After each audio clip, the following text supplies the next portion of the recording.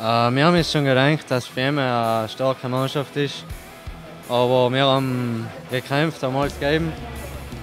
Und im Endeffekt zählt eigentlich leider Sieg. Wir haben früher angehört mit dem Eistraining, Trockentraining auch.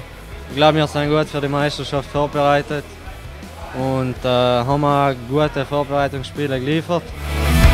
Wir probieren das Bestmögliche dagegen zu tun. Wir sind verpflichtet, die Maske aufzuhaben und wir probieren einen Abstand einzuhalten, sofern es das möglich ist. Aber wenn man noch auf Eis ist, ist halt wie es ist und äh, ist halt, hat man das nicht gerade im Kopf und denkt auf den Sport. Kein Problem, gerne.